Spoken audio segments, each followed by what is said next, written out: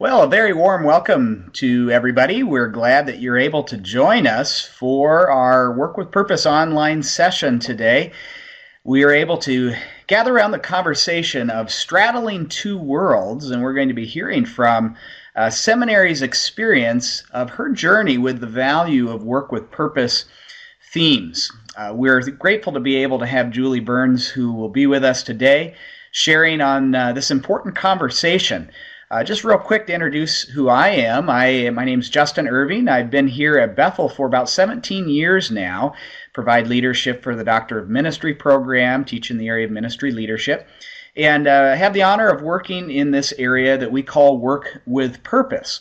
I want to just give you a brief overview of uh, kind of what we're doing in this conversation about work with purpose and why work matters.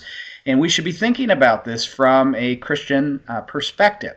So, what is Work with Purpose? Uh, we're an initiative here at Bethel Seminary. It's really targeting uh, empowering and equipping the church to effectively engage in the ministry of everyday life and everyday work.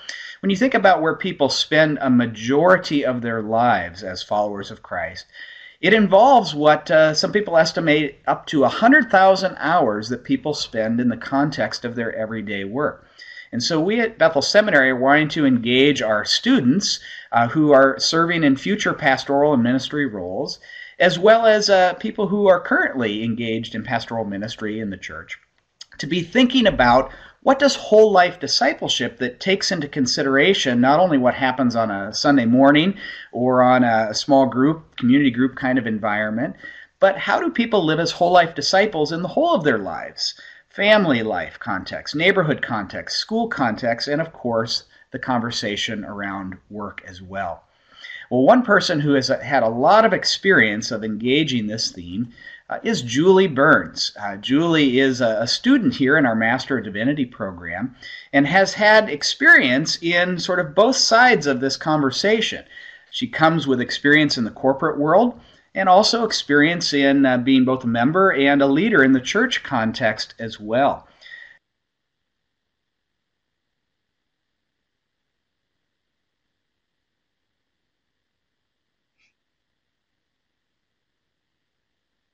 And we're going to hear her journey about integrating and straddling these two worlds as she has thought about her own work with purpose and how we engage others in this conversation. So at this point, I'll invite Julie to jump on board and uh, uh, enter the conversation. We're very glad that you're with us today, Julie, and look forward to what you have to share with us. Let me just make one one more comment to those who are joining with us today. You'll notice that there is the uh, the chat box that people have been sharing their greetings on. And uh, after Julie is done sharing with us today, uh, you'll have an opportunity to engage with some comments or questions after. So if there's something that Julie triggers in your thinking about this conversation about work with purpose, be ready to jump on in with a question.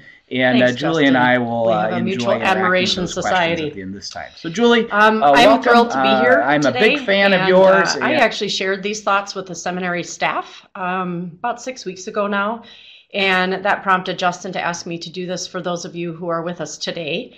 Um, it's been very exciting for me to be able to engage in a lot of the activities of work with purpose while I've been in seminary the last uh, three and a half years. And I have about 72 days left to graduation, not that I'm counting. But I wanted to share with you today a little bit of my personal story. I came to Christ at a very young age, and by the time that I was 17, I went on my first ever missions trip um, to, uh, or actually, it was overseas. But during the summer that I did that, I felt a strong calling and a strong desire to become a missionary to Africa. I know it probably makes me a little bit strange.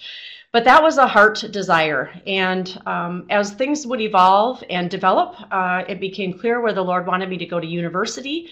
That became a secular university, a state school, University of Wisconsin Eau Claire. And while I was there, it turned out to be a wonderful thing because the Lord got me involved in InterVarsity Christian Fellowship. And through my time with InterVarsity, I developed all kinds of leadership skills and de- developed a passion for discipleship, lots of different things spiritually that were very, very beneficial for me. I went to the Urbana conference, which fed my passion and desire to be a missionary. But it was my senior year of college that InterVarsity offered a um, a conference, and I think it was the only time they ever offered this conference. It was in Chicago. We met in the downtown arena in a fancy hotel, and the conference was called Marketplace 1986. At that conference, I was introduced to business people and people in a wide variety of industries and professional engagements who were Christians that had a deep passion to share the love of Jesus Christ in their work environments and saw their work as a calling this was a very new idea for me and actually resonated very deeply in my heart because I was struggling.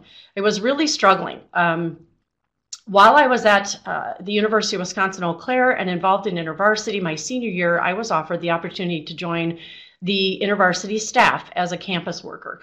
And there was some appeal in that because it was an opportunity to get into ministry, but I kept wrestling with the fact that I would be preparing students to enter what I called at the time the real world. And I wouldn't have had any of that experience myself. I also was wrestling because I felt like the Lord had made it clear I was supposed to pursue a degree in finance and French. My minor was French and my actual major was uh, finance. Naively, I thought that might get me into an international business experience opportunity. Um, but I had this degree, I had this training, and I was really kind of interested in getting into banking. And I really had a desire to be a banker as well as to be a missionary. And I was having a hard time sorting that out. So while at this conference in December of 1986, for the first time probably ever, I was exposed to business people, uh, political people, education people, people in all kinds of walks of life that saw their life calling as a call to the marketplace. This was exciting. And this resonated um, with some of the things that I was personally wrestling with. So I said no thank you to the InterVarsity opportunity, and instead I chose to go into banking. And that got me started on the which way should I go. So my journey of work started as a commercial lender with what is now called US Bank. I did that for about six years and I loved my work, but I also found it very challenging. I went into it with a tremendous excitement to make a difference for Jesus in the marketplace. I wanted to be a person of integrity, and I wanted to connect with the lost and make um, make a bridge so people could cross over. One of the things that I discovered is that that's not so easy. I was very humbled at the challenge of being salt and light in the workplace in ways that really reached out to people and really made a conduit so people could encounter Jesus Christ in a real way one of the things I discovered in that time is that I had something I would now call a holy huddle. My idea of reaching the marketplace was that looks sort of something like this. I go to church, I go to small group activities, I'm involved in um, leadership at my church, and I do all kinds of things at church when I'm not at work. And when I'm at work, I attempt to reach out to people and I invite them to activities at church.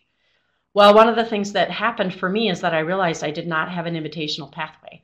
When I did that, people didn't say yes. People always said no. And I began to be very discouraged and to feel like what I was doing wasn't working and that I was a failure at evangelism. Later, the Lord would reveal to me through another set of circumstances that I wasn't invitational, that I was really more testimonial and relational. But the only way I discovered that is that I began to understand that Jesus was a friend of sinners. And the Lord started to speak into my life while I moved into my next season, which was full time motherhood. It was in that time that I experienced some conviction, and the Lord spoke to me about the fact that I wasn't an effective evangelist or missionary right in my own neighborhood.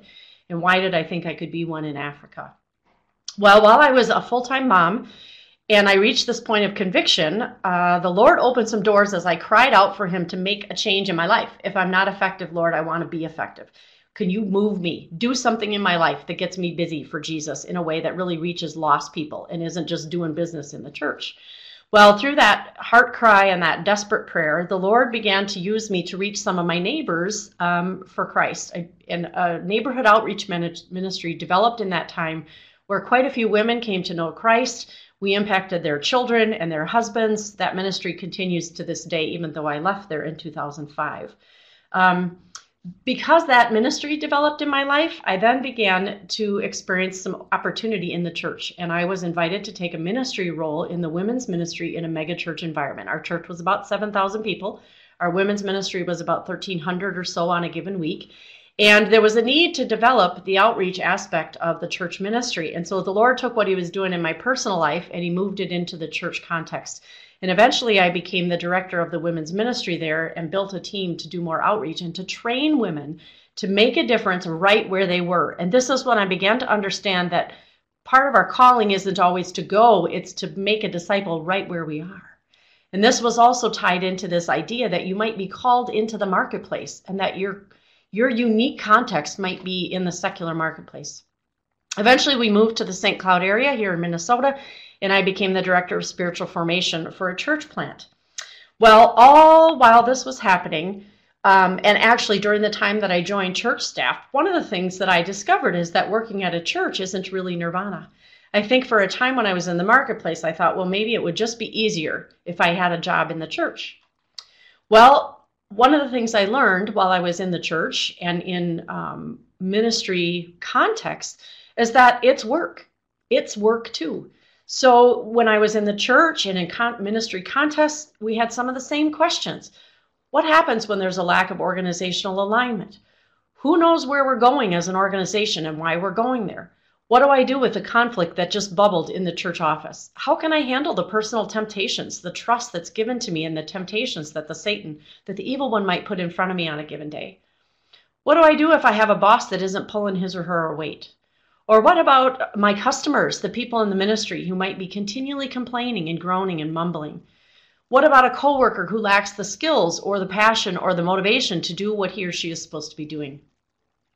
Sometimes I ask the question, where did the joy of ministry go? I had asked that question at the bank some days. What am I doing here? And I would lose track of my vision. Well, all while this was happening, and I was beginning to make um, a career, if you will, out of um, vocational ministry, my husband was firmly planted in the secular marketplace. He's worked in the printing industry for many, many years now, and he's moved around and had lots and lots of different leadership roles. And one of the most ironic things that happened to me is that I discovered at the dinner table we were having some of the same conversations and struggling with some of the same issues when it came to leadership and the workplace and the challenge of work. And so we would discuss things at the kitchen table like personal future, or excuse me, personal virtue um, what about our calling and finding meaning in our work? What about the meaningful expression of our faith in the workplace? One of the funniest things that can happen in the church is we can be so busy doing work for God that we forget to talk with one another about Him and to encourage one another. It wasn't as different from what my husband was experiencing in the marketplace as I thought. Um, what about finding support and mutual encouragement as we're doing the things that we believe God is calling us to? Or what about dealing with a lack of a sense of achievement? My goals aren't getting accomplished like I thought they would be. What about my attitude or setting vision and maintaining a healthy course? Well, through this time, essentially what happened as I was in a church staff situation, I began to see some general insensitivity on the part of the church through the eyes of my husband, who was working in the marketplace and a regular, faithful participant in church life. I saw some things that were happening in the church that didn't seem to reckon with the fact that my husband had a calling to the marketplace, just like I had a calling into the church. Imagine my joy at one of my first work with purpose experiences, where Tom Nelson, who was the author of Work Matters, started to talk about some very powerful things that can happen in the workplace. What about the Christian who is in the workplace and truly is making an affect, who's affecting the system? What about thinking through the overlapping networks of church members' lives and work? Who are the people they know and who are the people they're interacting with? And what are those overlapping networks like? And how can we leverage those networks to make a difference in the marketplace? what about somebody who brings excellence? A Christ follower who brings excellence into the marketplace and provides greatness and influences that pocket. How are we as the church getting behind that person and supporting them and praying for them and encouraging them? Tom mentioned that when the righteous flourish, the city rejoices. It's from the scriptures. Those who do honest work make an honest profit and can serve others generously. This was outstanding. This was like fruit and light and water and a refreshing drink for me. Um, one of the things I had seen is that as my husband functioned as a professional, which means he had a lot of hours in the workplace. He was questioned by people in the church for being a workaholic. Did he have his priorities in the right place? Why wasn't he at all the church meetings? Why was he always at work? Or why was he giving his primary energy to work? There were assumptions about his motives for his work. Was he just greedy? Was he just trying to be rich? Um, that wasn't my husband's heart that I saw. My husband had a heart to be a man of God, in the workplace and to lead as a man of God and to respect and honor and care for the people that were under him. He had hundreds of people in his care. I saw the church demonstrating sometimes an interest in a businessman because he had money to give and he had skill sets. Could he be on a certain board because he knew how to manage money? Could he be on the stewardship council because he knew how to manage money? And there's nothing inherently wrong with those desires, but they were out of balance. Something about the church was out of kilter. There was something about the paradigm that wasn't working right. I saw the church planning meetings that we're not sensitive to the working person's schedule wanting to do a leadership retreat away on a Thursday and Friday, which meant that the leaders of our church had to take two days of vacation to come engage with us. Once in a while, maybe, but maybe that was inappropriate. And I saw the church leaders saying, well, we don't want to do a retreat on Saturday because that's inconvenient for us. We have to preach on Sunday. So there were just insensitivities, general insensitivities that I saw. Well, this frustration ended up serving as fuel for me. It led me to start asking um, I needed to change some things about my own paradigms and my own perspective. So I began to ask church members about their five day a week investments. What do you do? How is it going? What are your latest victories? How can I pray for you in your work? And how could I be an encouragement to you in the day to day grind? Because we all know the world is, it, the marketplace is a sinful, broken place, whether we're in the Christian world or whether we're in the secular world. Could I meet you at your office and have lunch with you? Could we just talk about what you do and who you do it with? I would love to see where and with whom you work. And I started to challenge the staff gently to reconsider the timing of meetings and retreats and to consider the asks of our men of our members and leaders. How many nights a week are we asking people to be at church? Work with Purpose has spoken and challenged so many of the sort of typical paradigms that we have in the church. Katherine Leary Alsdorf uh, really did a great job of challenging the sacred and secular divide when she quoted Kuyper, who said, "In the total expanse of human life, there's not a single square inch into which or of which Christ, who alone is sovereign, does not declare, that's mine." And she challenged the pastoral sense of being out of touch. We had a sense that as a group of pastors, when we would meet to talk about these things, there was sort of this general idea how can a pastor even speak to somebody in the marketplace? We don't have a clue. And she said to us, Do you work? Are there challenges where you work? And that really kind of resonated with what I'd been experiencing. The church isn't nirvana.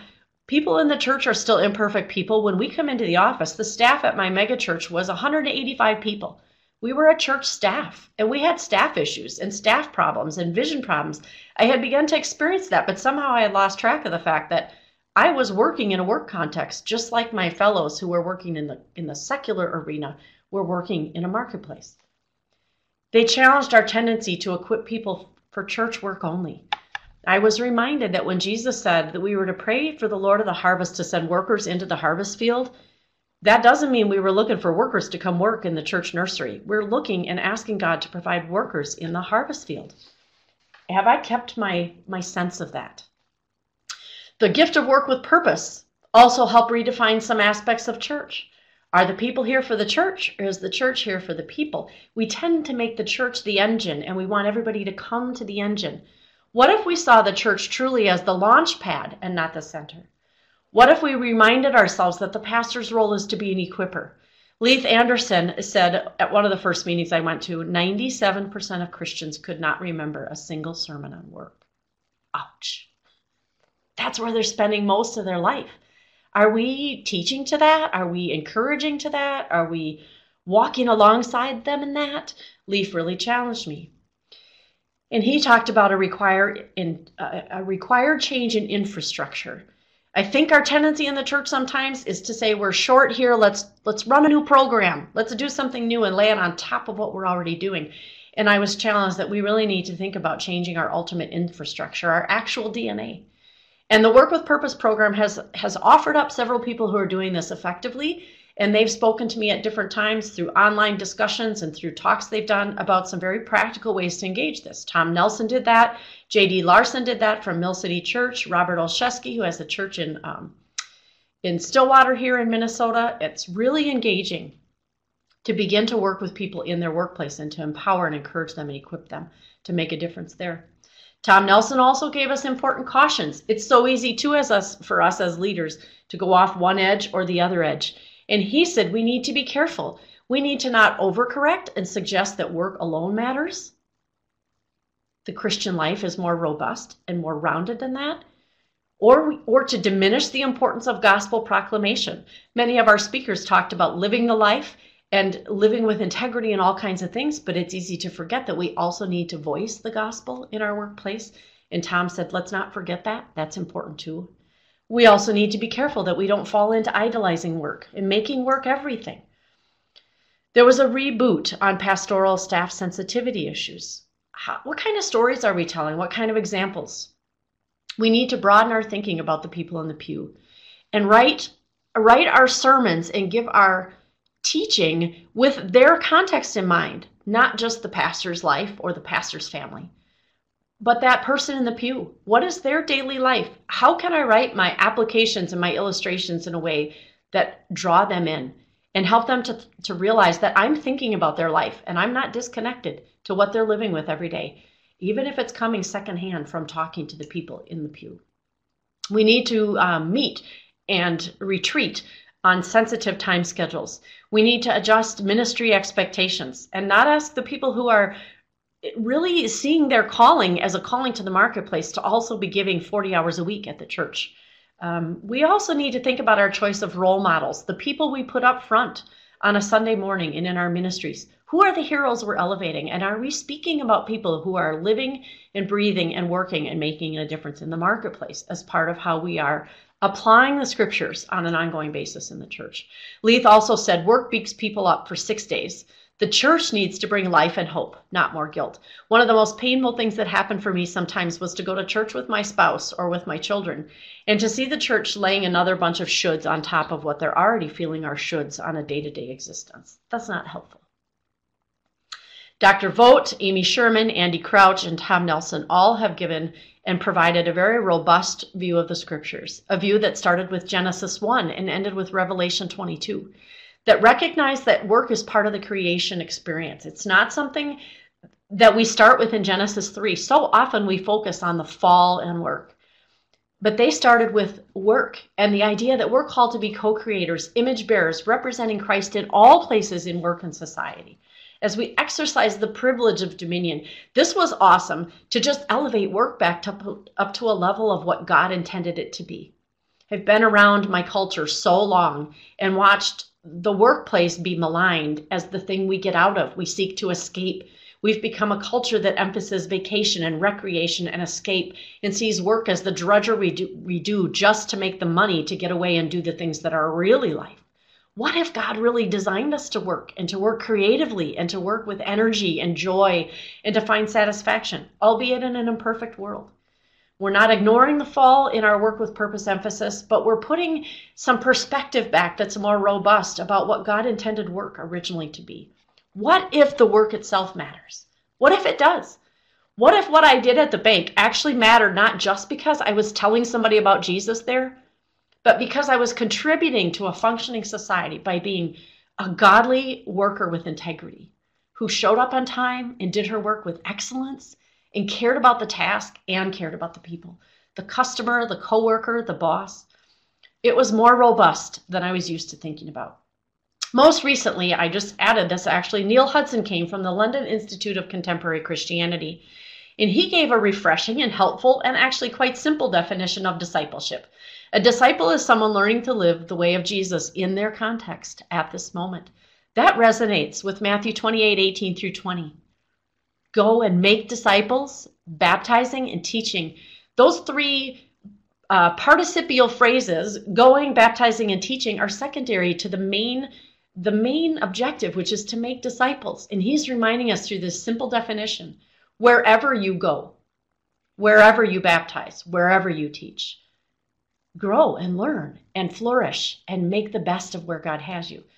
What if everybody in the pew really understood that and could really embrace that calling Monday through Friday so that Monday through Friday wasn't torture, but it was the place of their context of their calling?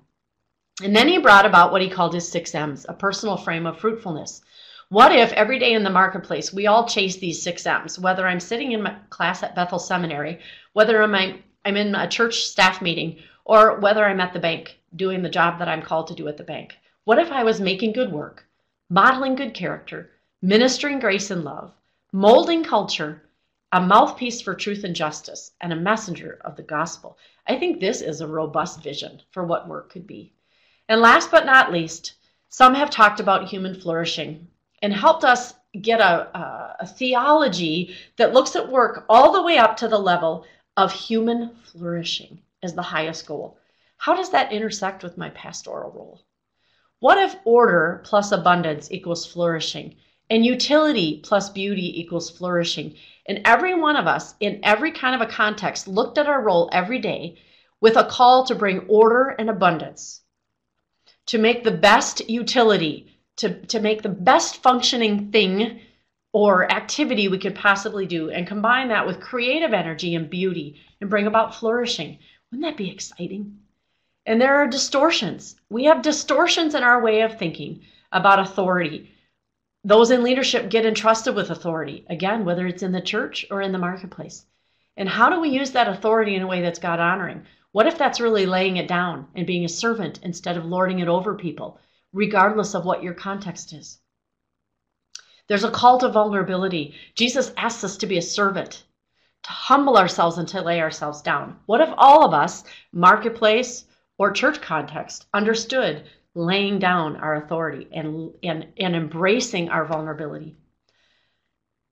All of that can lead to fruitfulness, image bearing, Christ likeness, and it's a little bit countercultural and a little bit strange for us. But these are many of the ideas that have really affected me as I've been at seminary and as I've had this opportunity to engage very frequently and very deeply with um, with the Work with Purpose program. So the personal ministry impact can be summed up in a number of key things for me. I gained a more robust vision. I've listened to many, many educated voices, people who have written books from a lot of different angles on this issue and we've attached a bibliography at the end of this presentation with some of the key materials that I think are invaluable. And all of us need to be responsible for the rest of our lives, whether we're seminary students or not, to continue to be educated. So if you've not read some of these books, I'd encourage you to read them and let them affect the way you view your own work and the work of the people that you're ministering to, regardless of your context. I've also come to know a number of friendly faces. These people who've written these books are accessible people and they're ready and willing to engage. There are people here at Bethel that are ready and willing to engage us in our context to, make a difference so that we can reach that worker that's in the marketplace. They're available. Teddy Ann Hassapopoulos is one of those people. Tessa Pinkstaff, Justin Irving. They're available to you to help you make your ministry more sensitive. I also gained an online network through the Theology of Work Project. If you've not ever looked into that, Theology of Work Project is an excellent place to go to get resources by a group of theologians who spent many, many years figuring out how the Bible looks at work from start to finish. That is a monster resource that I will use continually as a pastor. There have been extensive resources. And there is a Made to, uh, Made to Flourish Pastors Network here in the Twin Cities, but I believe that network exists off and on all over the country. So wherever you're in ministry, you can become a part of a group of people who are thinking about this and seeking to apply this and embrace this in their church and other ministry contexts. I hope that you will, in the time that you're involved at seminary or um, whatever brings you to this forum today, that you will engage in work with purpose and that you will receive personally and professionally the benefits that have come to me. Um, I am thanking God for work with purpose as I'm coming to the end of my time here at seminary. I don't want you to miss out. So thanks for your attention um, to my personal story. And I think at this point we're open to whatever kinds of questions you might have. We realize you're on uh, lunch hour, many of you, and want to be sensitive Julie, to your thank time. you so much But for we be of uh, walking us through your your journey of straddling these two worlds and how. Um, the various voices that you've heard from over the years help to, to validate and affirm not only what you're doing now as a seminary student, but what you did in the various other phases of your work life from the banking industry and beyond. Um, at this point, let me just uh, remind folks that this is the time that we're going to be uh, taking some questions. If you would like to interact with Julie, uh, please feel free to, to uh, share any comments or questions in the chat box and we'll engage those. Uh, I'll maybe kick things off with a question for you, Julie, here. Uh, you had a couple themes uh, in your time with us that you were sharing, really kind of this distinction between what I'll, I'll sometimes label as the intrinsic value of work versus the utilitarian value of work. You can share that about kind of your husband's experience at times of when people are coming to a business person thinking that they uh, are a source for uh, resources or money for a ministry or a nonprofit, but not really be val- being validated for the work itself. And sometimes, uh, as workers, uh, we bring that own uh, that that rubric to our own work as well, and we live by this sort of TGIF sort of mindset of uh, how do we get beyond our work, whether it's the weekend or retirement or vacations, and on and on down the line. We we have a fall-oriented view of work. So, speak to us a little bit about the intrinsic value of work. Why is that important for churches and Christians to be speaking not only about how work brings about other goods, but that the work itself matters to God and God's people?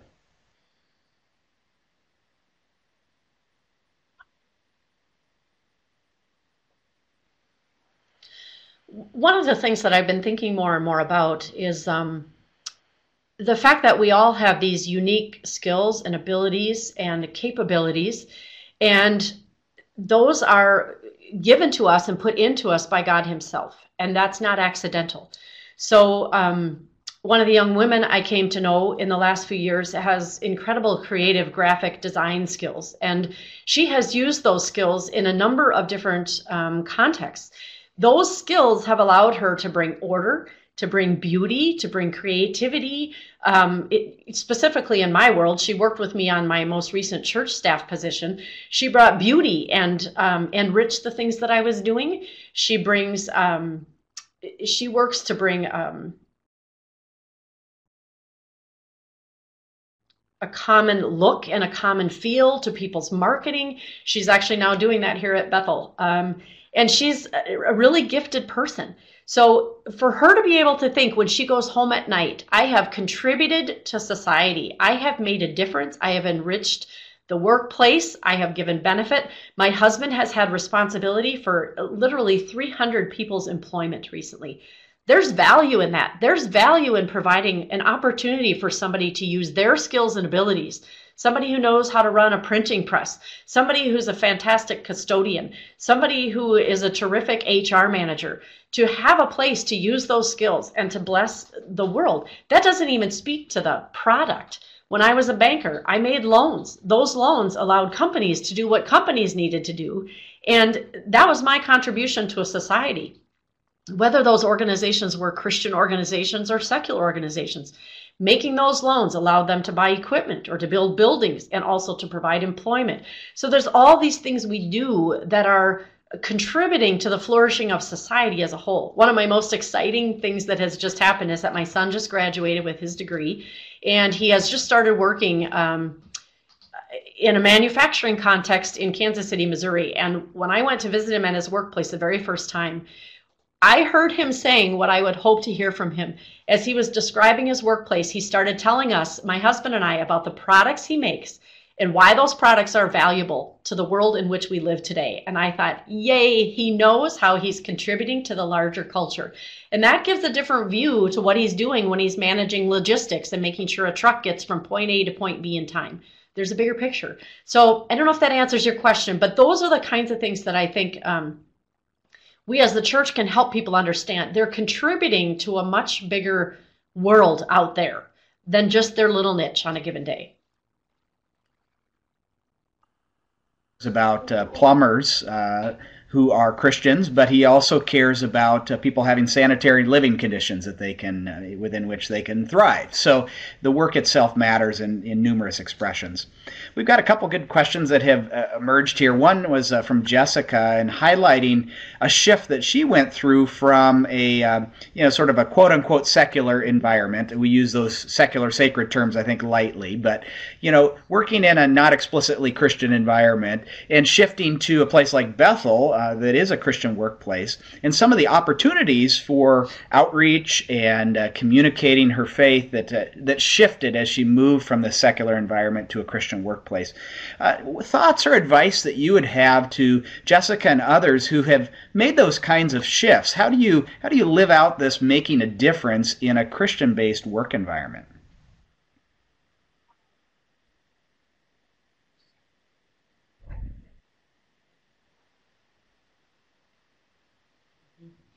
Well, I um, I would say one of the biggest things that I've had to realize is that um, Matthew 28, 18 through 20 talks about as we are going.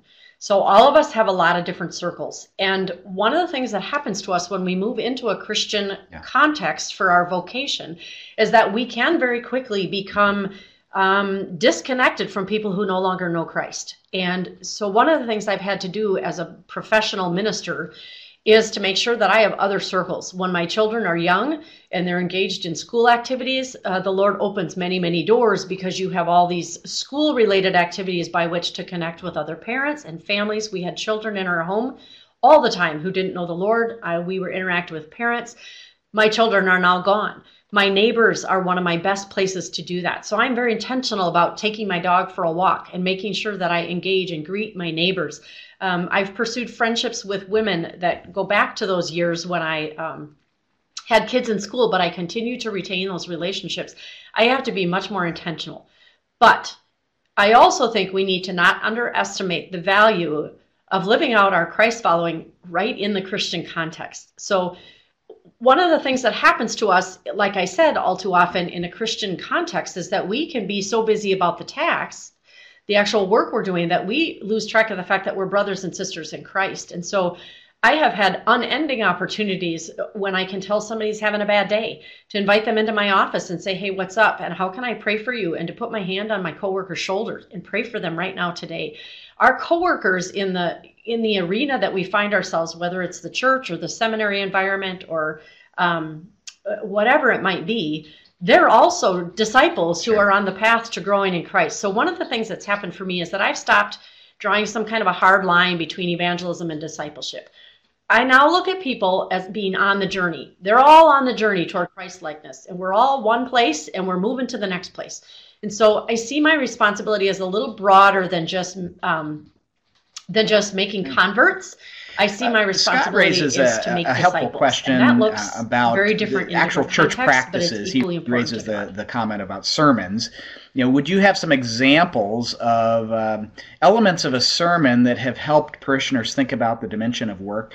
And I might just uh, expand that to say uh, sermons or other uh, liturgical church-based practices that help to integrate work reflection. Uh, uh, what comes to mind for you that would help Scott and others think about uh, bringing this theme to their own church context.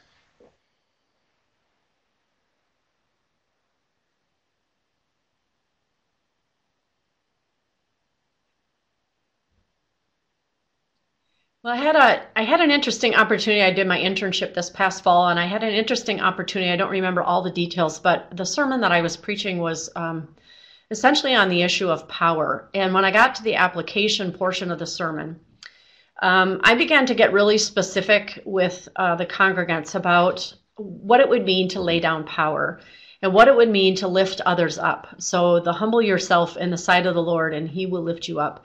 And in that sermon, I gave a couple specific work context examples. So, what does it mean as a leader for you to lead your people well, but not to lord it over them? And we talked about some specific things. I brought up the idea of being on teams and what happens when you're on a team and there are people on the team that are constantly grabbing for um, the fame. They want to be known for their contributions, but you're on the team and you know that they're not doing it all, that you're in the background working your tail off and nobody's recognizing you. What happens in those settings? And are you willing to lay your uh, claim to power, your claim to fame down? What does it look like on a team to elevate the other team members? Even when things aren't perfect because we don't know no team is perfect. And so I just laid out some of those really tricky workplace um, dynamics and moved along, finished the sermon. And the next week at staff meeting, uh, one of my coworkers said to me, Julie, Jacob loved your sermon. And I said, What do you mean? And she said, We got out and we got in the car. And the first thing he said is, she like mm-hmm. called my circumstances this is exactly he's an engineer and he was on a team and he had a power grabber on the team and he was fighting with this sense of competition and wanting to prove that he was a contributor too and now he had to think about what what would Christ do in this situation? And mm-hmm. I'm not sure we would have I'm not sure he would have applied it there if the Lord hadn't led me to bring up something that concrete. Um, so that's one that's one example. Um, I think we have to know our people enough to know what their what their rubs are every week. What is the really hard place? My husband stands in an interesting gap in management between the people who are unionized and the power play that goes on with a union and how do we cut through the power play of a union to care for these people and to respect the needs and the uh, the expectations of management those are really tricky oh, places great, to Julie. think about what yeah, does it mean to lay my power down go a long way but still be are, a place looking to of godly apply influence. the wisdom of scripture to their everyday lives um, one of my colleagues uh, here at Bethel, uh, Old Testament professor, when when he was preaching regularly, he would he would oftentimes uh, go through a process of preparing a portion of the sermon, but then meet with somebody in their workplace midweek to kind of run by how the sermon preparation was going and how that connected to their own workplace context. So I think your your model of kind of weaving intentionally those examples in and uh, and uh, just a, a, reminder of uh, having other practices about that you even noted meeting regularly with people in their workplace can provide the um, on the ground insights of what what people are engaging in their lives of work and how that connects to the particular passage you're engaging on a given week. Uh, got another good question here noting that uh, I'm not currently employed uh, full time with a church body, but I serve uh, all the time. And it's very evident that the church staff can sometimes display the attitude of being staff, that being staff is a quote unquote a job. And you had highlighted that kind of it's work reality in your experience, Julie. Well, this it's feeling like a job, and because of that, they get caught up um, into this rather than displaying it as a sense of their calling or uh, being called to purpose. Mm-hmm. So, a couple questions then in light of that. How do you motivate church staff uh, uh, that what they contribute is for the greater good of the kingdom, and it should be viewed in that manner? Uh, other than retreats, have you found anything more effective uh, than others in terms of building teams? Uh, so, not just from that lead pastor, regular preaching oriented kind of role, but uh, staff pastor roles. How do you stay motivated and focused in this way?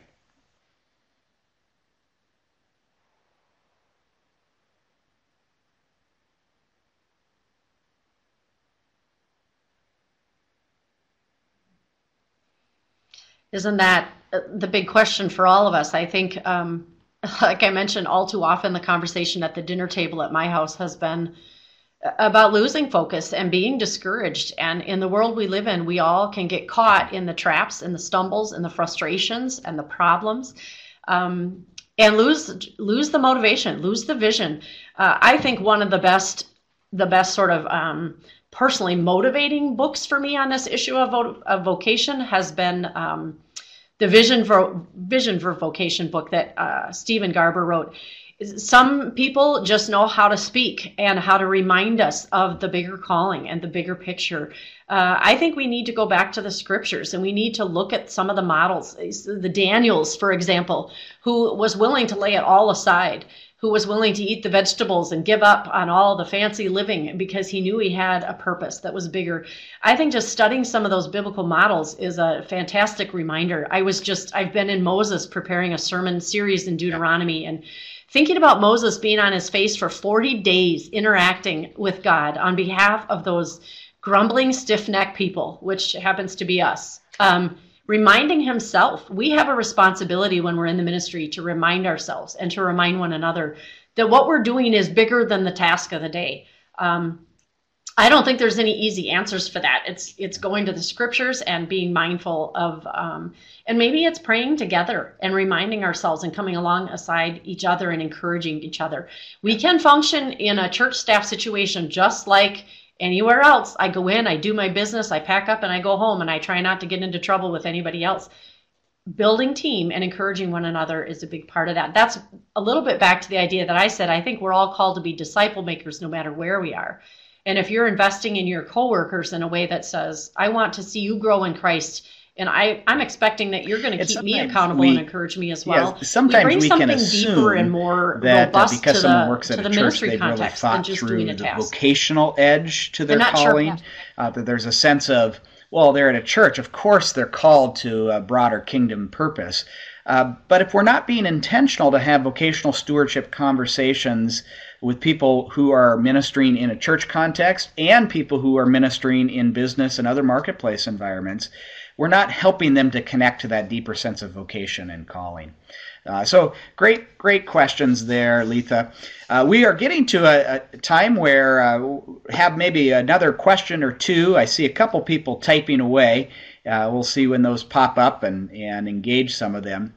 But uh, really appreciate uh, these insights that you've been providing for us, Julie. Uh, when you think of any final kind of last words that you'd like to uh, mention to us, uh, what would be helpful?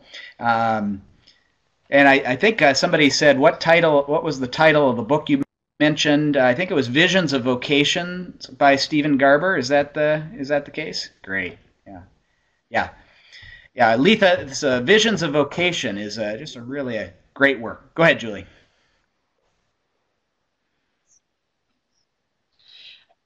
I would only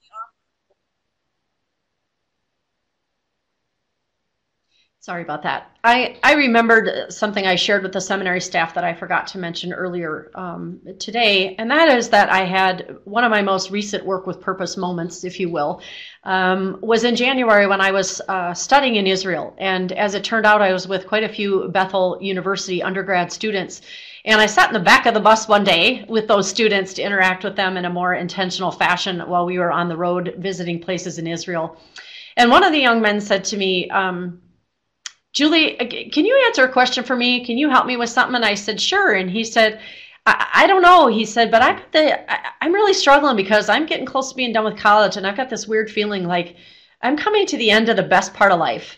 I, am coming to the end of college, and I don't know. It just seems like you get up and you grow up and you go off and you work and you work and you work, and it's just not all that exciting. And inside, I just had one of those heart moments of, oh no, what have we done?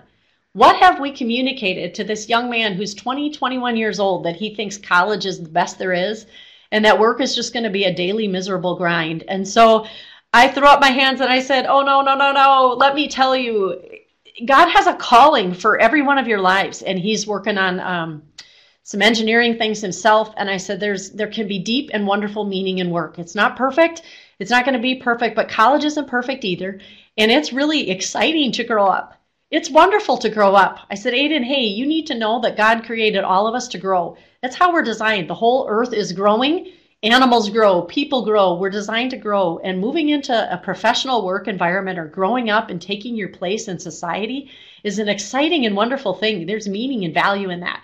And I hope um, that you will experience that in some very rich and deep ways. It's imperfect. You're not going to have every day is not going to just be wonderful but it's a good thing. And uh, we talked about well, Julie, it. Said, wow, I, think that's a, a wonder, a wonderful way and to end our oh, time because that, that really captures why it is so important for people who are leading and ministering in the church and beyond to get this conversation. How can we be proactive in validating that the life that people are living both in and outside of the workplace, it matters. It matters to God. It matters from a kingdom perspective. It matters to the people that we're serving along the way. And uh, that story just illustrates the, the divine appointment that you had on in that particular conversation, but how that's needed uh, in terms of pastoral ministry and other contexts as well. So, really appreciate your sharing with us that uh, insight. Uh, a couple quick announcements here as we draw our time to a close. Uh, if you are uh, in the St. Paul area, we do have a, an exciting event that's coming up in April with uh, Amy Sherman. And we are uh, we're targeting a conversation over the lunchtime hour uh, entitled "The Grand Narrative and Vocational Mission." Uh, Amy Sherman is uh, one of our uh, one of the key resources that we point people towards in her work, work Kingdom Calling. So uh, please come to our website uh, seminary.bethel.edu slash work with purpose and uh, check out that event. We would love to have you participate in it. We also have a pastors gathering that our uh, partners Made to Flourish are doing with Amy a little bit before that. We encourage you to check into that. Uh, if you are in other locations, uh, I, I, know some of you may be connected to uh, Bethel Seminary San Diego. we will also be having significant events coming up that are being planned, particularly in the fall, with some speakers. And keep an eye out for those announcements for opportunities that will be happening in your region of the country as well. Here are some of those resources that uh, Julie and others mentioned. Uh, we point people to these regularly, and they are listed on our website. But Every Good Endeavor by uh, uh Keller and Leary Alsdorf, uh, Amy Sherman's Kingdom Calling, Tom Nelson's Work Matters, uh, Stephen Garber's Visions of Vocation, which Julie highlighted for us a moment ago, Andy Crouch in his book Culture Making, and Neil Hudson, Imagine Church powerful resources for anybody that would like to take the next step in exploring this important conversation. Uh, you don't need to read all of these, just pick up one or two and start to wade into the waters and learn from these authors as they've thought significantly about the importance of work. Not just from a practical perspective, from but from the theological uh, foundations as well. We are so grateful that you have joined us. Uh, if you are looking to find out more about Bethel Seminary, either for yourself or others, uh, we have a number of wonderful educational opportunities we'd encourage you to check out at seminary.bethel.edu.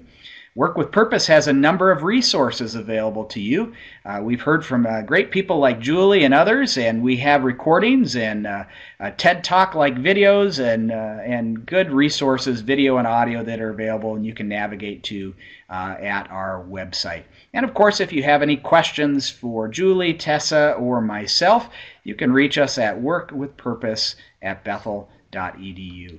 Thank you so much for joining us. And Julie, we are very grateful for your investing this time with our participants today. God bless you and uh, have a wonderful afternoon.